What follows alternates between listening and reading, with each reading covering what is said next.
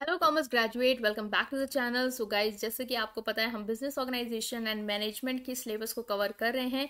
आज हम next topic के साथ मूव ऑन करने वाले हैं। सो उससे पहले वाले पार्ट्स या मैराथन या वन शॉट जिसने नहीं देखा है सो प्लीज़ चैनल की प्लेलिस्ट में जाइए। वहाँ पे आपको बिज़नेस ऑर्गेनाइजेशन एंड मैनेजमेंट की प्लेलिस्ट मिल जाएगी। वहाँ से आप सारे पार्ट्स चेकआउट कर सकते हैं। टेलीग्राम इंस्टाग्राम में ज्वाइन कर सकते हैं। टेलीग्राम ग्रुप है commerce group S W N T so without any further delay let's start this video So now, guys, in this part, we are going to discuss this topic that is importance of plant location. इससे पहले हमने plant location क्या है meaning features right और factors कौन कौन से हैं जो प्लांट लोकेशन को अफेक्ट करते हैं, वो डिस्कस किया था। आज हम इसकी इम्पोर्टेंस को कवर करेंगे कि प्लांट लोकेशन की क्या इम्पोर्टेंस है आपकी, ठीक है? कि कोई भी प्लांट की लोकेशन अगर आप डिसाइड करते ही क्या होनी चाहिए। ठीक है हमने देखा था कौन कौन से फैक्टर है जो बताएँगे भाई कि कैसी प्लांट लोकेशन हमें सेलेक्ट करनी है और कौन सी प्लांट लोकेशन हमारे लिए बेस्ट होगी। मीन्स ऐसी लोकेशन जहाँ पे हम अपना फैक्ट्री या बिज़नेस सेटअप कर सकते हैं। सो so, उस लोकेशन को क्यों परखना जानना और राइट लोकेशन सेलेक्ट करना क्यों इंपॉर्टेंट है वो हम यहाँ पर डिस्कस करें पहला है कॉस्ट एफिशिएंसी कॉस्ट एफिशिएंसी मतलब कि राइट लोकेशन जो होती है वो आपकी ट्रांसपोर्टेशन और प्रोडक्शन कॉस्ट को क्या कर सकती है? मिनिमाइज कर सकती है।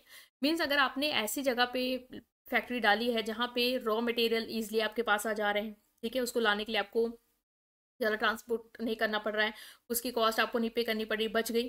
ठीक है मार्केट के पास है तो मार्केट में भी, सामान को ले जाने में भी आपको ट्रांसपोर्टेशन नहीं लगाना पड़ रहा है, वो भी ईजिली आपका सामान बिना ज़्यादा कॉस्ट के पहुँचा जा रहा है। तो ये क्या है कि ये आपको एक तरीके का रिडक्शन दे रहा है एक तरीके का मिनिमाइजेशन दे रहा है कि आपकी ट्रांसपोर्टेशन कॉस्ट बच रही है। वो क्यों बच रही है? क्योंकि आपने लोकेशन इस तरीके की सेलेक्ट की है जो कि मार्केट के सप्लायर्स के क्या है पास है बी, बीच में है। राइट right, तो इससे आपकी लॉजिस्टिक कॉस्ट या ओवरऑल प्रॉफिटेबिलिटी क्या होगी इंप्रूव होगी। तो पहला तो ये है कि आपको ये बेनिफिट मिलता है इसलिए आपको राइट लोकेशन सेलेक्ट करना इंपॉर्टेंट है। दूसरा है रॉ मटेरियल के आप क्या रहेंगे नियर रहेंगे। मीन्स ऐसे का प्लान लोकेशन आप सेट करेंगे जहाँ पे रॉ मटेरियल का सोर्स अवेलेबल हो इजीली मतलब कि मान लो आप जैसे कि कोई क्लोथ बनाते हैं तो आपके लिए रॉ मटेरियल क्या है? कॉटन है। मान लो कॉटन की क्लोथ बनाते हैं तो कॉटन है। तो कॉटन ऐसे जगह आपने फैक्ट्री सेटअप की जहाँ पे कॉटन जो है वो बहुत ईजिली मिल जा रहा है। ज़्यादा दूर सामान लाने की ज़रूरत नहीं है। ईजिली मिल रहा, मिल जा रहा है आसपास के एरिया से ही तो आपकी ट्रांसपोर्टेशन कॉस्ट क्या हो रही है? सेव हो रही है। ऐसा नहीं कि दूसरी सिटी से जाके या दूसरी कंट्री सॉरी नॉट कंट्री दूसरे स्टेट से जाके आप ले रहे हो। ठीक है तो वहाँ पे क्या है, आपका ट्रांसपोर्टेशन कॉस्ट बहुत ज़्यादा आएगी तो वहाँ पे आपकी लोकेशन बेस्ट नहीं कहलाएगी। तो ऐसी लोकेशन सेलेक्ट करना ये भी ज़रूरी है, ये इंपॉर्टेंस है आपके लिए कि रॉ मटेरियल के क्लोज रहेंगे तो उस तरीके से जो भी कॉस्ट लग रही है, वो रिड्यूस हो जाएगी और सप्लाई जल्दी हो जाएगी तो आप प्रोडक्शन भी ऑन टाइम कर पाएँगे। नेक्स्ट है labour availability and cost availability of skill labour reasonable wages can significantly affect production cost अब आपको प्रोडक्शन करना है तो आपको लेबर चाहिए होंगे। और लेबर कैसे स्किल्ड लेबर चाहिए होंगे, ठीक है? जो पढ़े लिखे हो एजुकेटेड हों, ऐसे लेबर चाहिए होंगे, वो भी ऐसी वेजेस पे जो रीजनेबल है। ऐसा नहीं कि बहुत ज़्यादा हाई चार्ज कर रहे हैं और उससे क्या होगा? ज़्यादा चार्ज कर रहे हैं, आप लेबर की वेजेस ज़्यादा दे रहे हो तो और टोटल प्रोडक्शन कॉस्ट में वो जुड़ेगा तो प्रोडक्शन कॉस्ट क्या होगी? बढ़ जाएगी। तो कस्टमर्स के लिए कॉस्ट जो है प्रोडक्ट की बढ़ेगी तो of course they will not going to take that तो ऐसी जगह आपका लोकेशन बेस्ट कहलाएगा, जहाँ पे लेबर इजीली अवेलेबल है, वो भी मिनिमम कॉस्ट में अवेलेबल है।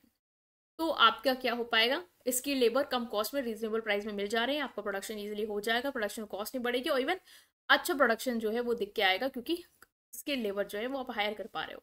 तो राइट लोकेशन सेलेक्ट करना ये भी ज़रूरी है इसलिए ताकि आपको लेबर लेबर जो है वो अवेलेबल हो पाए रीजनेबल कॉस्ट पे। नेक्स्ट है मार्केट एक्सेस मार्केट के क्लोज ऑफ़ कॉस्ट कौन नहीं रहना चाहते ताकि आप कस्टमर को ज़्यादा से ज़्यादा क्या कर पाओ टैप कर पाओ, ठीक है? ज़्यादा से ज़्यादा उनसे रिलेशनशिप बना पाओ। तो मार्केट में रहोगे तो कस्टमर के क्लोज रहोगे कस्टमर क्लोज रहोगे सेल्स बढ़ेगी। इवन मार्केट के क्लोज हो तो मार्केट तक जो पहुँचाने की कॉस्ट है ट्रांसपोर्टेशन शिपिंग कॉस्ट वो भी कम होगी। तो ये भी एक बेटर पॉइंट है आपके लिए। ये भी इम्पॉर्ट इसलिए ज़रूरी इंपॉर्टेंट है कि प्लान लोकेशन आप सेलेक्ट करो अच्छी। इंफ्रास्ट्रक्चर ऑफ़ कोर्स एक ऐसी जगह पे लोकेशन सेलेक्ट करना ज़रूरी है जहाँ पे सारी infrastructure facilities like road communication ports energy सब कुछ अवेलेबल हो। इससे क्या होगा, ये सब आपको प्रोडक्शन के प्रोसेस के दौरान चाहिए। ठीक है इलेक्ट्रिसिटी सही हो ट्रांसपोर्टेशन बातचीत करने के लिए नेटवर्क वगैरह ये सब सही हो। तो आपका प्रोडक्शन में क्या होगा हेल्प होगी।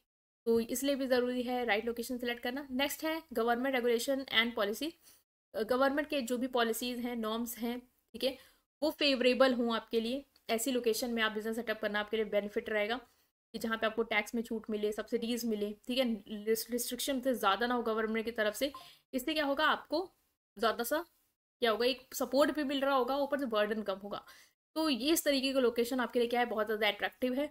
और इसीलिए ज़रूरी है कि आप राइट लोकेशन सेलेक्ट करो ताकि इन सारे फायदों को उठा पाओ। ठीक है? नेक्स्ट अगर हम बात करें क्विज तो हम लास्ट में देखेंगे। Access to technology and innovation technology of course ऐसी लोकेशन सेलेक्ट करनी जहाँ पे जो भी टेक्नोलॉजी है इनोवेशन हब हो, वहाँ पे आपको बिज़नेस सेटअप करना है। ताकि जो भी मशीन आ रही है न्यू टेक्नोलॉजी आ रही है या इनोवेशन आपको करना है, वो आप बेटर तरीके से कर पाओ, उसमें पीछे ना रह जाओ। Next environmental and social consideration of course जहाँ पे लोकेशन सेलेक्ट करनी, वहाँ पे आपको इन्वायरमेंट का भी ख्याल रखना है। सोशल सोसाइटी का, कम्युनिटी का भी ख्याल रखना है कि कम्युनिटी के लिए भी क्या हो, एक हमारी लोकेशन के थ्रू उनको कोई मतलब फैक्ट्री सेटअप कर दी, उनको कोई हार्म ना हो, ठीक है इन्वायरमेंट नहीं पॉल्यूट कर रहे हैं सस्टेनेबल तरीके से आप वर्क कर रहे हैं, जिससे ना सोसाइटी को लॉस हो रहा है, ना इन्वायरमेंट को लॉस हो रहा है और आपका भी फ़ायदा हो रहा है। तो इसलिए ज़रूरी है इन पॉइंट्स के थ्रू हमने देखा कि हमें राइट लोकेशन क्यों सेलेक्ट करनी चाहिए। Now let's take a question why is the cost efficiency of plant location important plant location की कॉस्ट एफिशिएंसी क्यों इंपॉर्टेंट क्यों ज़रूरी कि हमारा जो भी ऐसी लोकेशन जहाँ पे हमारी कॉस्ट एफिशिएंसी हो? कि इसलिए ताकि लेबर की कॉस्ट बढ़ जाए, इसलिए ताकि प्रोडक्शन ट्रांसपोर्टेशन कॉस्ट कम हो जाए प्रोडक्टिव प्रोडक्ट की क्वालिटी बढ़ जाए या गवर्नमेंट के रेगुलेशन कम हो जाए। ऑफकोर्स ऐसी कॉस्ट एफिशिएंसी चाहिए हमें प्लांट लोकेशन में, क्योंकि हम चाहते हैं हमारी ज़्यादा कॉस्ट ना आए मिनिमम कॉस्ट आए प्लांट लोकेशन ऐसी हो, वो इसलिए क्योंकि हम प्रोडक्शन और ट्रांसपोर्टेशन कॉस्ट कम करना चाहते हैं। Which factor is important for minimizing transportation cost and plan location selection plan location जब आप सेलेक्ट कर रहे हैं तो कौन सा फैक्टर इंपॉर्टेंट है ट्रांसपोर्टेशन कॉस्ट को कम करने के लिए? Proximity to competitor, proximity to raw material, proximity to research center, proximity to urban area. Transportation cost minimize करनी इसका होता है? आप क्या रहो?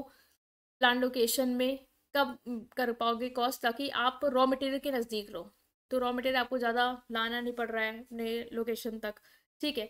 जल्दी इजिली आसपास एरिया में ही है तो कम ट्रांसपोर्टेशन कॉस्ट होगी तो ट्रांसपोर्टेशन कॉस्ट कम हो जाएगी।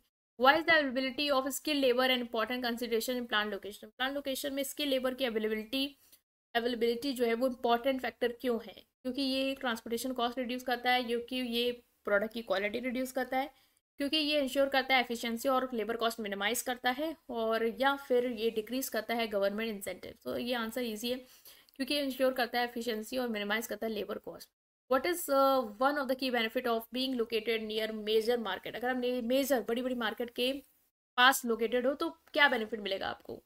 नेचुरल डिजास्टर का रिस्क रिड्यूस रहेगा। प्रोडक्ट क्वालिटी इंप्रूव होगी। शिपिंग टाइम रिड्यूस होगा और कॉस्ट रिड्यूस होगी या प्रोडक्शन कैपेसिटी जो है वो बढ़ेगी। तो ऑफकोर्स मार्केट के नज़दीक हो तो आपको प्रोडक्ट ईजिली या मार्केट तक क्या कर पा रहे हो, पहुँचा पा रहे हो। तो शिपिंग कॉस्ट या शिपिंग टाइम जो है वो कम हो जाएगा। क्योंकि मार्केट के क्लोज हो। वाई इज़ इंफ्रास्ट्रक्चर इंपॉर्टेंट में selecting a plan location plan location select करने के दौरान इंफ्रास्ट्रक्चर क्यों इंपॉर्टेंट है? क्योंकि ये प्रोडक्ट प्राइसिंग इफ़ेक्ट करता है it ensure smooth operation and transport efficiency it improve workforce productivity, या it reduce government taxes. So infrastructure क्यों इंपॉर्टेंट है जब प्लान लोकेशन आप सेलेक्ट कर रहे हो? वो इसलिए क्योंकि इंश्योर करता है ऑपरेशंस एंड ट्रांसपोर्ट एफिशिएंसी क्योंकि इंफ्रास्ट्रक्चर है तो ईजिली आपके जो ऑपरेशन है वो हो जाएँगे और ट्रांसपोर्टेशन भी आपको ईजिली मिल जाएगा। With the following can make a location more attractive for plant setup higher labour cost few government regulation tax incentive lack of raw material availability या पॉलिटिकल इंस्टेबिलिटी कौन सी चीज़ आपकी लोकेशन को और ज़्यादा अट्रैक्टिव बनाता है प्लांट के सेटअप के लिए?